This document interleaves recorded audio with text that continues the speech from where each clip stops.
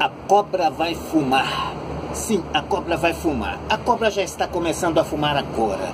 Você sabe como surgiu a expressão a cobra vai fumar? Sabe?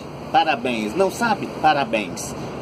Vai ter a chance de saber agora por que, que a cobra vai fumar. Então a cobra já está começando a fumar nesse vídeo.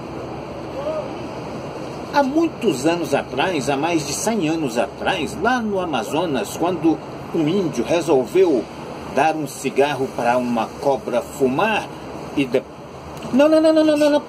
Peraí. Não foi nada disso.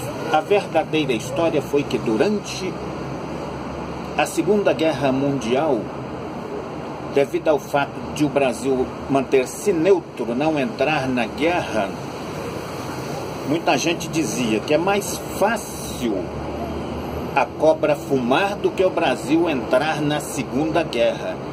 A televisão, a televisão não, porque na época não existia no Brasil. Os rádios e os meios de comunicações noticiavam essas coisas e falavam também junto com o povo que também falava, junto com o povo que também falava que é mais fácil a cobra fumar do que o Brasil entrar na guerra.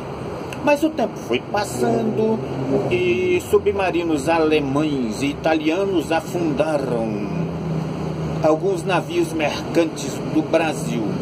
Então houve grande revolta popular, pessoas querendo que o Brasil tomasse um, um rumo, que entrasse na guerra. Então foi aí que o Brasil entrou na guerra.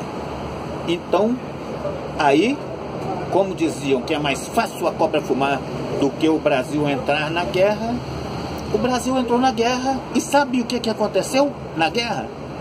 Ah, isso mesmo. A cobra estava fumando lá.